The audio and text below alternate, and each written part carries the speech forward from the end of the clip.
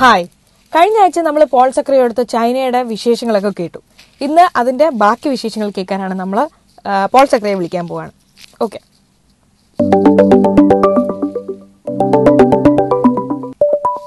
hi sir hi hi Parvathy sir കഴിഞ്ഞ ആഴ്ച സുഖം. കഴിഞ്ഞ ആഴ്ച നമ്മൾ ചൈനയുടെ കുറെ വിശേഷങ്ങൾ കേട്ടു. ഇനി ചൈനയുടെ ബാക്കി വിശേഷങ്ങളാണ്. അപ്പൊ എനിക്ക് ഒന്ന് രണ്ട് സംശയങ്ങൾ ഉള്ളത് ചൈനയിലെ ഭരണാധികാരികളെ കുറിച്ചും അവിടുത്തെ രാഷ്ട്രീയത്തിനെ കുറിച്ചും പൗരന്മാർക്ക് കിട്ടുന്ന സ്വാതന്ത്ര്യത്തിനെ കുറിച്ചൊന്നും അത്ര നല്ല വാർത്തകളല്ല കേൾക്കുന്നത്. അത്ര സ്വാതന്ത്ര്യമൊന്നും ഇല്ല എന്നാണ് കേൾക്കുന്നത്. ശരിക്കും ഇങ്ങനെയാണോ അവിടുത്തെ അവസ്ഥ? നമുക്ക് ഒരു ഫസ്റ്റ് ഇംപ്രഷൻ എന്ന് പറയുന്ന വളരെ സൂപ്പർഫിഷ്യൽ ആയിട്ടുള്ള ഉപരിപ്ലവമായ ഇംപ്രഷൻസ് നമുക്ക് കിട്ടുന്നുള്ളൂ പതിനഞ്ച് ദിവസം കൊണ്ട്. പക്ഷെ നമ്മൾ മനസ്സിലാക്കുന്നത് വായിച്ചതിൽ നിന്നുമൊക്കെ അവിടെ നമ്മളിപ്പോ ഇന്ത്യക്കാരായ നമുക്ക് വളരെ വിയോജിപ്പ് ഉള്ള ഒരു സമ്പ്രദായമാണ്. ഈ നമ്മളിവിടെ അനുഭവിക്കുന്ന പൗരസ്വാതന്ത്ര്യങ്ങൾ എന്നൊക്കെ പറയുന്നത് അങ്ങനെയൊന്നുമില്ല. ആ ആ തരത്തിലുള്ള ഇപ്പം എല്ലാ ദിവസവും സമരമായിട്ട് തെരുവിൽ ഇറങ്ങാനോ ഒന്നും അവിടെ സാധിക്കുമെന്ന് പറ്റില്ല. പറ്റില്ല. അപ്പൊ അതിന്റെ അങ്ങനെ ഇറങ്ങാനുള്ള ആവശ്യങ്ങൾ അവിടെ ഉണ്ടായിട്ടും അവർ നിർബന്ധിതരായിട്ട് ഇറങ്ങാതിരിക്കാൻ പറ്റുന്നതാണോ എന്നും അതൊന്നും നമുക്ക് പഠിക്കാൻ നമ്മുടെ ഈ ഭാഷയില്ല ആളുകളോട് സംസാരിക്കാൻ. ഒറ്റ പാർട്ടി സിസ്റ്റമാണ്. ഒറ്റ പാർട്ടി സിസ്റ്റമാണ്. അപ്പം തീർച്ചയായിട്ടും ആ ഒരു പാർട്ടിയുടെ ബലമായ പിടുത്തം അതിന്റെ അകത്ത് ഇപ്പൊ ഇപ്പൊ ഭരിക്കുന്ന അദ്ദേഹത്തിന്റെ പാർട്ടിയുടെ ഇതാണ്. കമ്മ്യൂണിസ്റ്റ് പാർട്ടി എന്ന് സ്വയം വിളിക്കുന്ന പക്ഷെ അതൊരു ആ ഒരു ലേബൽ മാത്രമേ ഉള്ളൂ കമ്മ്യൂണിസ്റ്റ് പാർട്ടി. അത് വേറൊരു ഇതാണ്.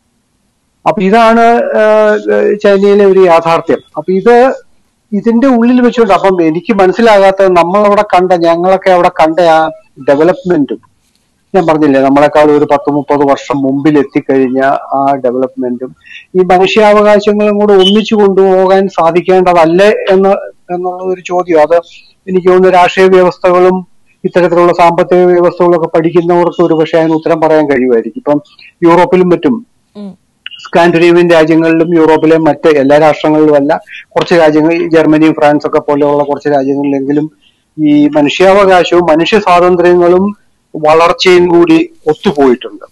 രണ്ടു ഏതാണ്ട് ഒരേപോലെ വളർന്ന് നിൽക്കുകയാണ് സ്വാതന്ത്ര്യം കുറച്ച് പല- പലയിടങ്ങളിലും കുറച്ച് കൂടിപ്പോയിട്ടുണ്ടെങ്കിലും ഉള്ളൂ അല്ലാതെ കുറഞ്ഞു പോയിട്ടില്ല. അപ്പൊ അത് ചൈനയിലില്ല. ഇപ്പം അവിടെ മാധ്യമ സ്വാതന്ത്ര്യം ഇല്ല എന്ന് പറയുന്ന സ്വാതന്ത്ര്യം ഇല്ല എന്ന് പറഞ്ഞാൽ മാധ്യമങ്ങളുണ്ട് ടെലിവിഷൻ ചാനലുകളുണ്ട് പത്രങ്ങളുണ്ട് ഇഷ്ടംപോലെ പത്രങ്ങളുണ്ട്. പക്ഷെ സ്റ്റേറ്റിന്റെ നിയന്ത്രണം അതിന്റെ മേൽ നന്നായിട്ടുണ്ടെന്നാണ് ഞങ്ങൾ മനസ്സിലാക്കിയത്. അതേസമയം സ്റ്റേറ്റ് തന്നെ ഇതും കൂടി പറഞ്ഞില്ലെങ്കിൽ അത് പൂർത്തിയായില്ല. സ്റ്റേറ്റ് തന്നെ പ്രസിദ്ധീകരിക്കുന്ന ചൈന ഡെയിലി എന്നും പറഞ്ഞൊരു ഇംഗ്ലീഷ് പത്രമുണ്ട്. എത്ര ആ അത് ഞങ്ങൾ അവിടെ ചെന്നപ്പോ അതാണ് വായിക്കുന്നത്. അതിനകത്ത് ഭരണകൂടം പുറത്തേക്ക് നൽകാൻ ഉദ്ദേശിക്കുന്നു ഇഷ്ടപ്പെടുന്ന വാർത്തകൾ മാത്രമേ ഉള്ളൂ. എന്തൊരു ഒന്നാം തരം പത്രമായിരുന്നു അതൊന്ന് വായി നമ്മൾ നമ്മളൊരു കഥയോ നോവലോ വായിക്കുന്ന പോലെ നമുക്ക് വായിച്ചു പോകാൻ പറ്റുമെന്നുള്ളതാണ് ഒന്നാം തരം എഴുത്ത് ഒന്നാം തരം അനാലിസിസ് അത് ഒരു സ്റ്റേറ്റിന്റെ പത്രമാണതെന്ന് നമുക്ക് അറിയാവുന്നത് കൊണ്ട് മാത്രമേ അറിയാൻ പറ്റുള്ളൂ. അതിൽ അതിന്റെ ഒരു ലാഞ്ചനയില്ല ആ തരത്തിലുള്ള ഒരു കാര്യമൊക്കെ അല്ലാതെ അത് അത്ര അങ്ങനെയും പത്രപ്രവർത്തനം നടത്താൻ പറ്റും എന്ന് ഞാൻ പറയുകയാണ്. അതായത് ആ- രീതിയിലും അവിശ്വസനീയം അത് അത് ഒരു നല്ല ഇതായിരുന്നു പക്ഷെ ആളുകളൊക്കെ ഇപ്പൊ സന്തോഷവാന്മാരാണോ? സ്വാതന്ത്ര്യം ഇല്ലാത്ത ഒരു രാജ്യത്ത് ജീവിക്കുന്നത്? ഇനിയില്ല എനിക്ക് തോന്നുന്നു ഇപ്പം നമ്മൾക്ക് ആൾ ആളുകളുടെ മുഖങ്ങളിൽ നിന്ന് വളരെ കുറച്ചേ മനസ്സിലാക്കാൻ പറ്റുള്ളൂ. ഞാൻ മനസ്സിലാക്കുന്നിടത്തോളം ഇപ്പൊ നമ്മൾ ധാരാളം ആളുകളെ ഒന്നിച്ച് കാണുന്ന ഇടങ്ങളില്ല. അവിടെയൊന്നും ഇപ്പൊ നമ്മൾ റഷ്യയിൽ ചെന്ന റഷ്യക്കാരുടെ മുഖത്തൊരു മാനത കാണാം. എനിക്ക് തോന്നുന്നു ഈ കഴിഞ്ഞ ഒരു പത്ത് എഴുപത് കൊല്ലത്തെ അത് എന്ന് എന്ന് ഞാൻ കരുതുന്നു. ഒരുപക്ഷെ അവരുടെ അവരുടെ ജനറ്റിക്കലി അവർ മ്ലാനരായിരിക്കും അവരുടെ മുഖത്ത്. പക്ഷെ നമ്മൾ ചെന്നൈ ചെല്ലുമ്പോൾ വളരെ ആ, പ്രസന്നവദനരായ ആളുകളെയാണ് നമ്മൾ ഇപ്പൊ ഒരു റെയിൽവേ സ്റ്റേഷൻ പോലെ തിരക്കുള്ള സ്ഥലത്ത് എവിടെ ചെന്നാലും ആളുകൾ ഭയങ്കര ഉറക്ക വർത്താനവും പറഞ്ഞ് ബഹളം കൂട്ടി ചിരിച്ച് പിള്ള വിളിച്ച് ഓടി നടക്കുകയാണ്. ഈ ഭയങ്കരമായിട്ട് ഇന്റേണൽ ടൂറിസം ഉള്ള ചൈനയുടെ എനിക്ക് തോന്നുന്നു ഒരു സെവന്റി ടു എയ്റ്റി പെർസെന്റ് ചൈനയിലെ ടൂറിസം ഇന്റേണൽ ടൂറിസം ചൈനക്കാർ തന്നെ ഇങ്ങനെ ഓടി നടക്കുക അങ്ങോട്ടും ഇങ്ങോട്ടും. എവിടെ ചെന്നാലും അവരേ ഉള്ളൂ. ഇപ്പൊ ഞങ്ങൾ രണ്ട് വളരെ പ്രധാനപ്പെട്ട സ്ഥലത്തൊക്കെ ചെന്നപ്പോ ഞങ്ങൾ രണ്ടു മൂന്ന് പേരെ ഉള്ളൂ വിദേശികളായിട്ട്. ബാക്കി മുഴുവൻ ചീനക്കാരാ അവർ ഒന്ന് ഇങ്ങനെ കാണുകയാണ്. അപ്പൊ ഞാൻ പറഞ്ഞത് അവിടെയൊക്കെ വെച്ച് നമ്മൾ കാണുമ്പോ ഒരു ഒരു ഒരു പോലീസ് സ്റ്റേറ്റിൽ നമ്മൾ കാണുന്ന ആളുകളല്ല. തീർച്ചയായിട്ടും. അതിനെപ്പറ്റി ഒരു സംശയം അതിനപ്പുറത്തോട്ട് നമുക്ക് പറയാനുള്ള അറിവ് നമുക്കില്ലല്ലോ. അത് എങ്ങനെയാണെന്ന് പറയാനായിട്ട്. ആളുകൾ തന്നെ അറിയാത്ത രീതിയിൽ അവരുടെ അവരെ അടിച്ചമർത്തുന്ന പോലെയാണ് പിന്നെ പിന്നെ ആണ്. അവരറിയാത്ത രീതിയിൽ അവരെ അതാണ് വളരെ സമർത്ഥമായ സ്വേച്ഛാധിപത്യം അവിടെ നടത്തിക്കുക വഴിയിലെങ്ങും ഒരു പോലീസുകാരും ഇല്ല വളരെ ഒരു പോലീസുകാരോ പട്ടാളക്കാരോ ഒന്നും ഒരിടത്തും ഇല്ല. ബീജിങ്ങിൽ വരുമ്പോ നമ്മൾ അവിടെ ഈ ഗവൺമെന്റ് സ്ഥാപനങ്ങളും അതും ഇതും എല്ലാം ഉണ്ട്. ഞങ്ങൾ അവിടെ എത്തുമ്പോൾ എഴുപതാം വർഷത്തിന്റെ ആഘോഷമായിരുന്നു. അതുകൊണ്ട് വഴിയിലെല്ലാം പോലീസുകാരുണ്ട്. അതിന് ഇതിനു മുമ്പ് ഞാൻ ബീജിങ്ങിൽ പോയപ്പോൾ അന്ന് പോലീസുകാരെ കണ്ടിട്ടുമില്ല. അപ്പൊ അങ്ങനെ ഒരു പോലീസുകാരെ വഴി നിർത്തിയുള്ള ഇപ്പൊ ഈജിപ്തിൽ ചെന്ന് കഴിഞ്ഞാൽ ഒരു പിന്നെ അമ്പത് മീറ്റർ അമ്പത് മീറ്റർ ഇടപെട്ടൊരു പട്ടാളക്കാരൻ നിൽക്കുകയാണ് കാണും. അത്തരത്തിലുള്ള ഒരു സ്റ്റേറ്റ്. ഇല്ല. ഇനി അവിടുത്തെ പ്രകൃതിയെ പറ്റി പറയുകയാണെങ്കിൽ സാറേ എങ്ങനെയാണ് അവിടുത്തെ കാഴ്ചകളൊക്കെ? അത് വളരെ പച്ചപ്പൂ ഒക്കെയാണോ നമ്മളിപ്പോ? പച്ചപ്പൂ ഹരി- ഹരിതാപോ എങ്ങോട്ട് ഞങ്ങൾ ട്രെയിനിൽ ഒത്തിരി യാത്ര ചെയ്തല്ലോ. ബുള്ളറ്റ് ട്രെയിനിൽ യാത്ര ചെയ്തു അപ്പൊ ബുള്ളറ്റ് ട്രെയിനിലും അല്ലാത്ത ട്രെയിനിലും യാത്ര ചെയ്തു. അപ്പൊ ഇത് നമ്മൾ പോകുമ്പം അപ്പൊ നമ്മൾ കൺട്രി സൈഡിൽ കൂടെയാണല്ലോ നാട്ടിൻപുറങ്ങളിൽ കൂടെയാണല്ലോ പോകുന്നത്. എല്ലാ മലകളും വളരെ തിക്കായിട്ട് നല്ല പിന്നെ സുഭിക്ഷമായിട്ട് കാട് പിടിച്ച പിന്നെ പച്ചപ്പ് നിറഞ്ഞ മലകളും അതേസമയം ഇടയ്ക്ക് കൃഷിസ്ഥലങ്ങളൊക്കെ ആയിട്ട്. അവിടെയെങ്കിലും നമ്മളുടെ ഈ തീവണ്ടിപ്പാത പോകുന്ന വഴികളിലെങ്കിലും ഞങ്ങൾ ഈ പരിസ്ഥിതി ആഘാതം എന്നോ അങ്ങനെയൊക്കെ പറയാവുന്ന ഒന്നും നമ്മ നമ്മൾ കാണുന്നില്ല. പിന്നെ ഈ ടൂറിസ്റ്റ് കേന്ദ്രങ്ങളായ മലകളിലേക്കൊക്കെ പോകുമ്പോൾ അതിമനോഹരങ്ങളെ ഒത്തിരി കാഴ്ചകളുണ്ട്. ഇപ്പൊ ഉദാഹരണമായിട്ട് എനിക്കത് പ്രൊനൗൺസ് ചെയ്യാൻ ഭയങ്കര പാടാണ്. ചോങ്ജിയാസ്യെ എന്നൊക്കെ പറയുന്നത്. ഇംഗ്ലീഷിലുള്ള സ്പെല്ലിംഗ് വേറെ ഷുവാൻ ജിയാജി എന്ന ഇംഗ്ലീഷ് പഠിച്ചോ സാർ അവിടെ പോയിട്ട്. ഇല്ല അയ്യായിരം അക്ഷരങ്ങളോ മറ്റോ ഉണ്ടത്ര അക്ഷരങ്ങൾ സയൻസ് എന്നൊക്കെ എല്ലാവരും വെച്ച്. അപ്പൊ നമുക്ക് പഠിക്കാൻ പ്രയാസമാണ്. എന്തായാലും. അവിടെ നമുക്കൊന്നും മനസ്സിലാവില്ല. അപ്പൊ ഈ ചോങ് ചോങ്ജിയാസെ പോലെയുള്ള അത് ഈ അവതാർ എന്നും പറഞ്ഞ് ഒരു നാലഞ്ചു കൊല്ലം മുമ്പ് ഒരു സിനിമ ഉണ്ടായിരുന്നല്ലോ. അപ്പൊ അതിനകത്ത് പറന്നു നടക്കുന്ന മലകളെ കാണിക്കുമല്ലോ. അതിന്റെ അത് ഇതിൽ നിന്നാണ് ഈ മലകളിൽ നിന്നാണ് അത് അത് ഇൻഫ്ലുവൻസ് ചെയ്തിരിക്കുന്നത് അപ്പൊ ഈ ഒരു അവതാറിന്റെ രണ്ടാം ഭാഗവും അവരവിടെ ഒന്ന് ഷൂട്ട് ചെയ്തു എന്ന് ഞങ്ങളുടെ ഗൈഡ് പറഞ്ഞു. അപ്പം അതുപോലെയൊക്കെ അതൊക്കെ നമ്മൾ ശരിക്കും അവിശ്വസനീയം. ഞാൻ ഈ ലോകത്തിലങ്ങും കണ്ടിട്ടുള്ള കാഴ്ചകളിൽ ശരിക്കും അത്ഭുതകരം എന്ന് നമ്മൾ നമുക്ക് വിളിക്കാവുന്ന ഒരു ഒരു കാഴ്ചയാണ് ഈ അവതാർ മൗണ്ടൻ. അതുപോലെ തന്നെ ഞങ്ങൾ യാൻസെ നദിയിൽ കൂടെ ഒരു മൂന്ന് ദിവസത്തെ ഒരു ക്രൂസ് പോയി. ഒരു കപ്പൽ യാത്ര. വഴിയടിയിട്ട് വശത്തും വഴിയുടെ ഇരുവശത്തും അവസാനം ഒരു ത്രീ ഗോർജസ് അണക്കെട്ട് എന്ന് പറയുന്ന ലോകത്തിലെ എനിക്ക് തോന്നുന്നു ഏറ്റവും വലിയ അണക്കെട്ടുകളിൽ ഒന്നാണ്. അതിന്റെ അവിടെ വരെ അപ്പൊ അവിടെ മുഴുവൻ ഈ മലകൾക്കിടയിലൂടെയായി ഈ നദി ഒഴുകുന്നതും. അപ്പൊ അതിന്റെ ഉള്ളിലൂടെയൊക്കെയുള്ള യാത്രയ്ക്ക് ഈ മൂന്ന് ദിവസത്തെ ക്രൂസും വളരെ മനോഹരമായിരുന്നു. ഉള്ള ട്രെയിൻ യാത്രയെ കുറിച്ചും കൂടെ പറയണമല്ലോ അതിപ്പോ ഇവിടെ എല്ലാവരും എനിക്കൊന്നും ഇവിടെ നിന്ന് ചാരിക്ക് പോകുന്നതല്ലേ എല്ലാവരും ചെയ്തുകൊണ്ടിരിക്കുന്ന ഞാൻ ആദ്യം അത്ഭുതം എനിക്കത് വിശ്വസിക്കാൻ പറ്റിയില്ല. കാരണം ഷാങ്ഹായിൽ നിന്ന് ബീജിംഗിലേക്ക് ആയിരത്തി ഇരുന്നൂറ്റി ശിഷ്ടം കിലോമീറ്റർ ആണ് ദൂരം. ഇവിടുന്ന് ബോംബെക്ക് തന്നെ. അപ്പൊ ഞങ്ങൾ വണ്ടിക്കകത്ത് കയറി ഇരുന്ന് വർത്താനൊക്കെ പറഞ്ഞ് അത് ഇതും ചെയ്ത് അത് നോക്കി ഭക്ഷണമൊക്കെ കഴിച്ച് ഒക്കെ ഒന്ന് ഉറങ്ങാനൊക്കെ തടങ്ങുമ്പോഴത്തേക്കും ആളുകളൊക്കെ എണി വണ്ടി നിന്നു ആളുകളൊക്കെ എണീറ്റ് ലഗേജ് എടുക്കുന്നു. പക്ഷെ ഞങ്ങൾ ഞങ്ങളോട്ട് ഇടയ്ക്ക് എവിടെയോ സ്റ്റേഷനിൽ നിന്നാണ്. അപ്പോഴാണ് നമ്മൾ ബീജിംഗ് എത്തി നാലേകാൽ മണിക്കൂർ കൊണ്ട് ആ. നമ്മൾ ആയിരത്തി ഇരുന്നൂറ്റി അറുപത്തി ഏഴ് കിലോമീറ്റർ ക്രോസ് ചെയ്തു പോയി. അപ്പോ അത് അങ്ങനെ അത് അവിടെ എല്ലാവരും അതിങ്ങനെ പ്രധാനപ്പെട്ട ലൈനുകളിൽ മാത്രമല്ല ഇവർ ഈ ബുള്ളറ്റ് ട്രെയിൻ ഇട്ടിരിക്കുന്നത് ചെറിയ ചെറിയ ലൈനുകളിലൊക്കെ പോലും ബുള്ളറ്റ് ട്രെയിൻ ഓടുന്നു ഓടുന്നുണ്ട്. ഉണ്ട്. അപ്പൊ അതൊക്കെ കാണുമ്പോഴാണ് നമ്മൾ ഇവരെ എവിടെയൊക്കെയോ നമ്മളെ കടന്നു പോയിരിക്കുന്നു എന്നുള്ള ഒരു സംശയം നമുക്ക് തോന്നുന്നത്. സാർ ആ ഗ്ലാസ് ബ്രിഡ്ജിന്റെ കാര്യം പറഞ്ഞതും ഫോട്ടോ കണ്ടത്. ഗ്ലാസ് ബ്രിഡ്ജ് ഗ്ലാസ് ബ്രിഡ്ജ് ഒരു ഒരു എഞ്ചിനീയറിംഗ് വണ്ടർ എന്ന് പറയാമെന്ന് എനിക്ക് അറിഞ്ഞുകൂടാ. കാരണം ഈ ഗ്ലാസ് എന്ന് പറയുന്നത് ഇപ്പൊ ഈ വളരെ തിക്ക് ഗ്ലാസ് കിട്ടുമല്ലോ.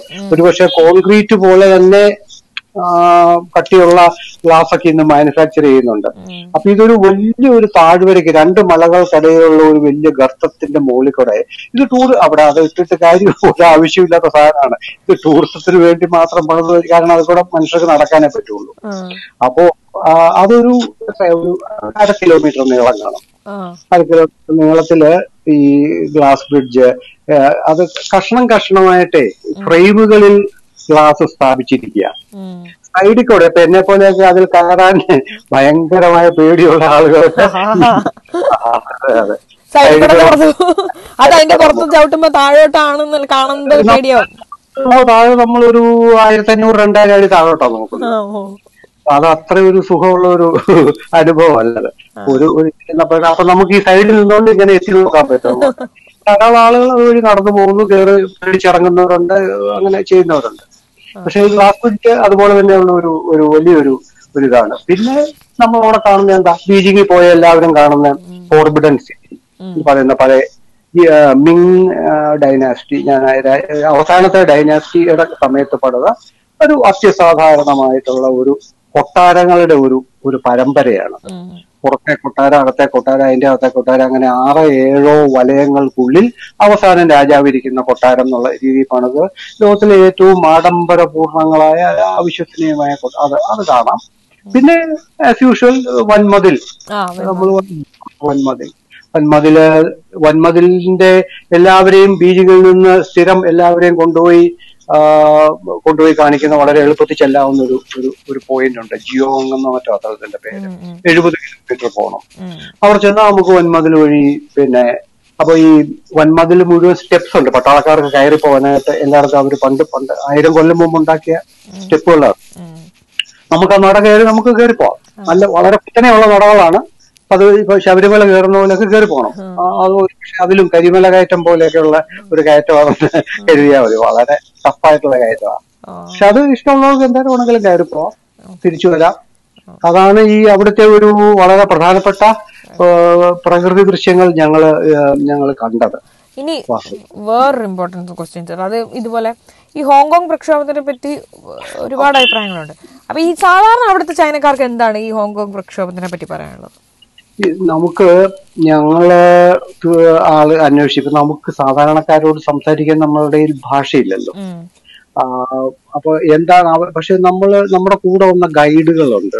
ഈ അഞ്ച് ഈ അഞ്ചാറ് നഗരങ്ങളിൽ ഞങ്ങൾ ഒരു ആറേഴ് ഗൈഡുകളുടെ സഹായത്തോടെയാണ് ആറേഴ് സ്ഥലങ്ങളിൽ പോയത്. ഇപ്പൊ മാവോയുടെ അവിടെ പോകാൻ ഒരു ഗൈഡ് ഇപ്പുറത്ത് പോകാൻ ഒരു ഗൈഡ് ബീജിംഗിൽ അപ്പൊ ഇത് ഇതിൽ വളരെ ഫ്രണ്ട്ലി ആയിട്ട് സംസാരിക്കുന്നവരുണ്ട് ഒന്നും പറയാലാത്ത ആളുകളുണ്ട് അപ്പം പക്ഷെ ഇവരോടൊക്കെ നമ്മൾ പൊതുവിൽ ഞങ്ങൾ ഇവരിൽ മൂന്നാൽ പേരിൽ നിന്നെങ്കിലും നമുക്ക് കിട്ടിയ ഒരു വ്യൂ പോയിന്റ് എന്ന് പറയുന്ന ചൈനക്കാര് ഇവർ ഹോങ്കോങ്ങിലെ പ്രക്ഷോഭണത്തെ അനുകൂലിക്കുന്നില്ല. അവർ പറയണത് അതൊരു ഒരു കുത്തിപ്പൊക്കിയ പ്രക്ഷോഭമാണ്.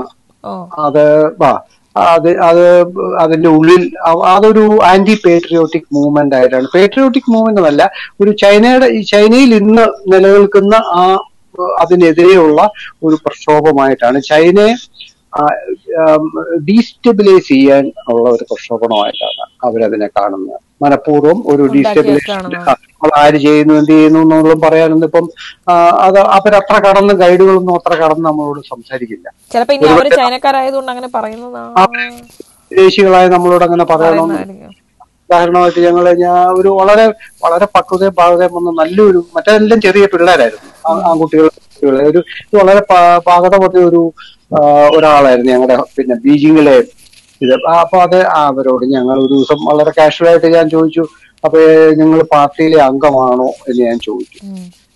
അപ്പൊ പുള്ളി പറഞ്ഞ അത് പാർട്ടി അതൊരു പേഴ്സണൽ മാറ്റർ ആണ്. പറയാൻ ഡിസ്കസ് ചെയ്യാൻ പറ്റില്ല. അങ്ങനെ അങ്ങനെ. അതേസമയം ഞങ്ങളുടെ ഈ പറഞ്ഞ ഈ ചോങ്ജിയാസിയയിലൊക്കെ ഞങ്ങളുടെ ഒന്ന് പെൺകുട്ടിയുണ്ട് ജെന്നിഫർ എന്നും പറഞ്ഞ. ഇവർക്കെല്ലാം ഈ വിദേശികൾക്ക് പറയാൻ സൗകര്യമുള്ള ഒരു പേര് കൊടുക്കും.